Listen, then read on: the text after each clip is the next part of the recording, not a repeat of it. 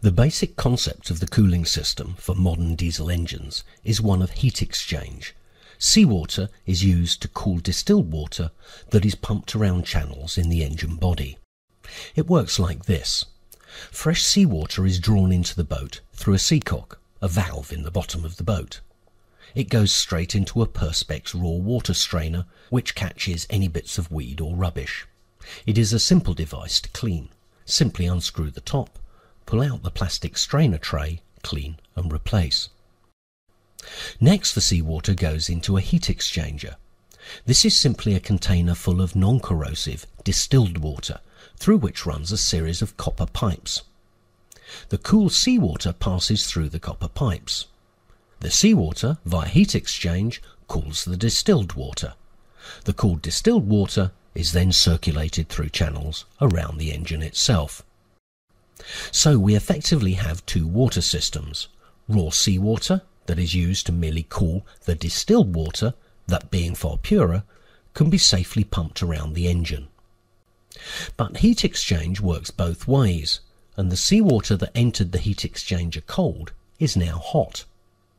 This is next taken into more copper pipes inside a hot water boiler and, again via heat exchange, is used to heat our domestic hot water supply.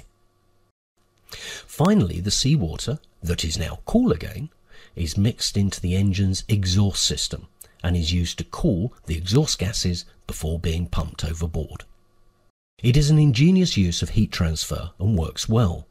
The most common reasons for failing are blockages on the raw seawater side. All modern engines have audible heat alarms. If it comes on, stop the engine as soon as possible. Another telltale sign is the lack of a good stream of water being pumped overboard with the exhaust. Firstly, check whether any rubbish has been sucked into the raw water strainer. If not, you could have caught a plastic bag and it's sitting over the seawater inlet. Take a look over the side. Often the culprit is the impeller pump. This, depending on the make of the engine, is either run on a belt from the flywheel or is bolted into the engine casing. You can find it by following the large diameter water pipes. This is the pump that sucks seawater up into the boat and pushes it around the system. It looks like this. When its cover is removed, a rubber impeller is revealed. If this is broken or damaged in any way, it needs to be replaced. They can be a little difficult to remove, so it's worth carrying a proper extractor tool like this, which makes the job infinitely easier. Having fitted the new impeller, replace the cover with a new gasket, start the engine and test the system.